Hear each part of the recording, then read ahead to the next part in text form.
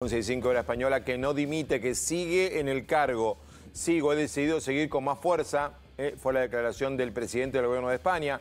Mi mujer y yo, Begoña, que fue el origen de todo el conflicto, y yo sabemos que esta campaña de descrédito no parará. Llevamos 10 años sufriéndola, podemos con ella.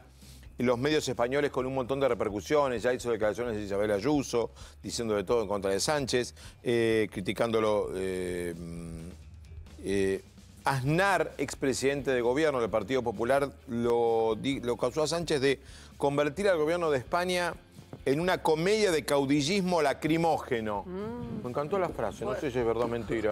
Pero la frase está buenísima para decírsela a alguien. Comedia de caudillismo lacrimógeno, hay que decir que en España, y aplicando un poco de sentido común, que un presidente de gobierno diga, me tomo cinco días para pensar qué hago, no es... ¿Preferís eso o em, mi querida Begoña? Hmm. No, cualquier cosa antes que mi querida ¿Ah, sí? Bueno, por eso. Sí, mi querida Más vale que se Fabiola, mi querida Fabiola, ta- seamos buenos, no lo comparemos a Sánchez con Alberto, Bueno. ni a Begoña con Fabiola, con todo respeto a Sánchez, ya fuimos. Mm, Esto decía Sánchez, dale. Quiero compartir con todos ustedes lo que finalmente he decidido. De ello eh, he informado previamente al jefe del Estado esta misma mañana. He decidido seguir, seguir con más fuerza si cabe al frente de la presidencia del Gobierno de España. Hay en este Sánchez un gran oficio de televidente de, de realities, ¿no? Claro. Muy reality, porque todo el mundo está esperando que él diga si va a seguir o no como presidente de gobierno.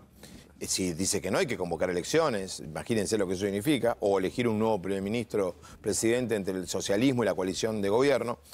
Cuando hay que esperar esa definición, o sea, Juli Poggi está en la placa, el conductor de Gran Hermano, en cualquier país del mundo hace una pausa, baja la mirada, se toma dos segundos para generar suspenso.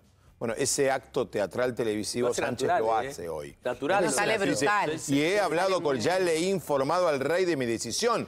Con lo cual decís a la pelota, si lo fue a ver al rey, el rey paró de desayunar para recibirlo y le dijo, mirá, te vengo a ver cómo te va. Che, ayer el Atlético, el Atlético le ganó a Bilbao, sí. Ah, y el Madrid le ganó a... a- a- ah, mirá, el Madrid le ganó en, en San Sebastián. Che, yo me quedo. Ah, bueno, dale, ¿querés una media luna? No, gracias, chao, te veo después.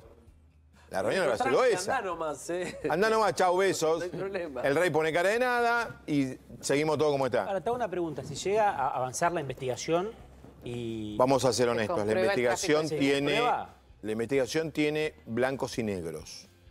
Hay partes no aclaradas y hay parte que la propia organización que la presenta Manos Limpias, vinculada también, digamos, a la oposición, ha dicho que parte del material que presentó a la Fiscalía era material de medios de comunicación.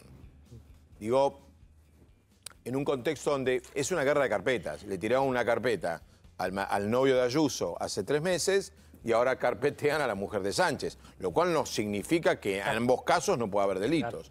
De hecho, el novio de Ayuso reconoció alguna, alguna imputación criminal y pagó un, creo que va a pagar una multa. Por eso digo, no queda expuesto él acá si llega a aparecer. Yo creo que él, entre nosotros él lo hace, es, es muy, perdón, eh, que nadie se ofenda, muy, muy peronista.